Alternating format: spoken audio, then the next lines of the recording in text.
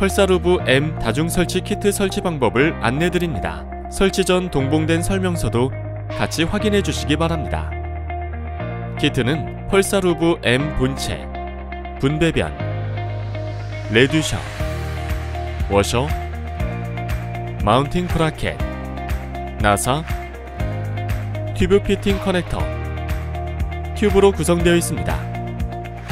설치 방법은 다음과 같이 세 가지로 구분됩니다. 1단계 mounting bracket 설치, 2단계 주유기와 분배변 체결, 3단계 설비와 분배변의 튜브 연결, 1단계 mounting bracket 설치. 적당한 위치의 나사를 이용하여 mounting bracket을 고정시킵니다. 그리스 주입이 가능한 적정한 위치에 설치합니다. 2단계 주유기와 분배변 체결 분배변 각 해당 포트에 튜브 피팅 커넥터를 시계 방향으로 돌려 스패너로 고정시켜줍니다.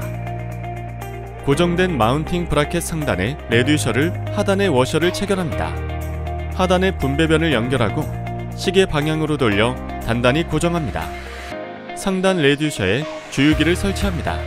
주유기는 개월수 세팅하기 편안한 위치로 체결해주세요.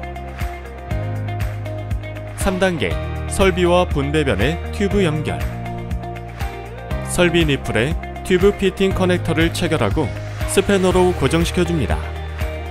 분배변에 연결된 튜브 피팅 커넥터에 튜브를 연결합니다. 튜브를 설치 가능한 길이에 맞춰 직각으로 절단합니다. 튜브의 절단 단면을 깨끗이 닦고 표면에 파손된 부분이 없는지 확인합니다. 절단된 튜브를 설비의 튜브 피팅 커넥터에 연결하여 쉽게 누유가 되지 않도록 합니다. 전원 버튼을 2초간 눌러 제품을 켭니다. 모드 버튼을 눌러 원하는 급유 주기를 선택합니다. 테스트 버튼을 2초간 눌러 그리스가 정상적으로 토출되는지 확인합니다. 다중 설치 시 급유 포인트에 알맞은 분배변을 확인 후 선택하세요. 2구부터 8구까지 다양한 분배변 키트로 구성되어 있습니다. 주의사항 모든 부품은 테프론 테이프를 이용하여 견고하게 작업합니다. 분배변의 토출구를 임의로 막지 마십시오. 내경 4파이 튜브 또는 배관 사용 시 포인트별 최대 관로 길이는 6m 이하가 되도록 설치하십시오.